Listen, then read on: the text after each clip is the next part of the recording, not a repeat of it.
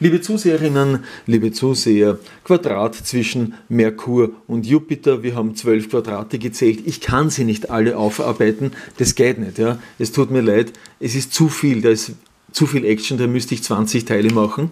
Ich will euch das ersparen.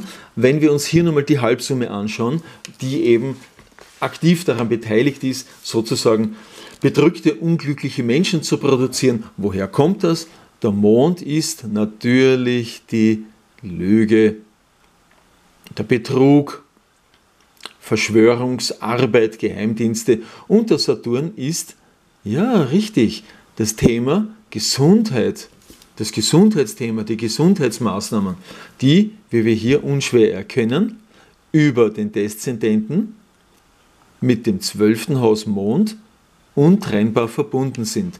Es wird hier die Achse 6-12 ausdrücklich hervorgehoben und interessanterweise ist diese Halbsumme der Hauptdarsteller, der tatsächliche Hauptdarsteller dieses Horoskopes.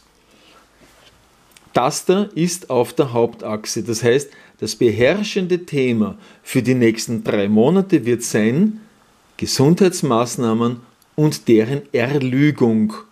Ja, also unheimlich spannend und was ich auch sehr, jetzt hätte ich wohltuend sagen wollen, aber es ist nicht wohltuend, lassen wir das, das hebe ich mir für den, vierten Teil, für den sechsten Teil auf. Die Spitze des zehnten Hauses steht im Widder und der Herrscher von zehn ist der Mars. Der Mars ist auch vom Mars ist auch die Bevölkerung betroffen, wegen des eingeschlossenen Skorpionzeichens. Also das heißt, die Auswirkungen der Stazifanten finden natürlich auch bei der Bevölkerung große Auswirkungen. Also das heißt, was die Stazifanten hier so anstellen, fügt uns natürlich großen Schmerz zu, gar keine Frage. Und sie verstecken sich hier gekonnt hinter ihren Schergen.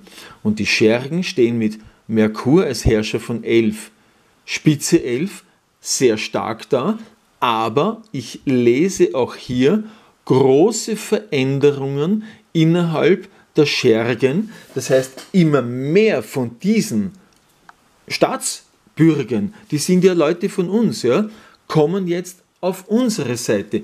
Immer mehr Menschen erkennen, was hier gespielt wird. Also würde ich sagen, diese Karte Gerechtigkeit sollte hier walten und in Summe haben wir es eben mit einer extremen Verhärtung zu tun. Ich gehöre ganz eindeutig zu der Stierfraktion.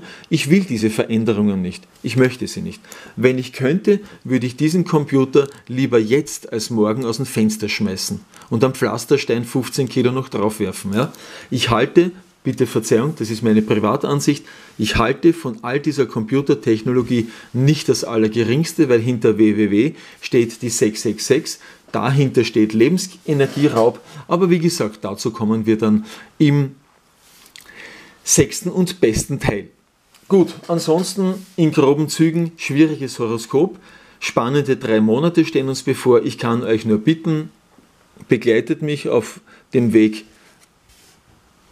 im Widerstand leisten, ja, weil wir lassen uns das nicht bieten. Wir brauchen 1984 nicht. Wenn Sie das unbedingt wollen, dann sollen Sie das für sich, für sich selber spielen. Ja. Wir brauchen das nicht. Wir wollen wieder unsere Freiheit. Weiter zum sechsten und besten Teil. Ende.